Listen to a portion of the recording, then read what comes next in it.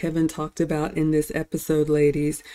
One of the things we don't realize when we go to work, we are basically helping someone else's dream come true. Someone else has that uh, law for law firm or that practice or that company, and we all work and we understand that.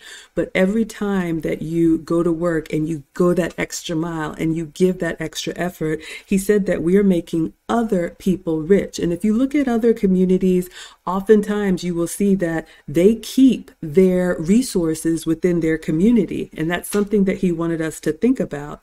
And as women, we are looking for men to lead us. If you want a traditional relationship with a masculine man, we admire a man who has a vision and someone who can uh, employ us. Because, ladies, one of the things that my man says is that after about 10 years in corporate America, those of us that are working, you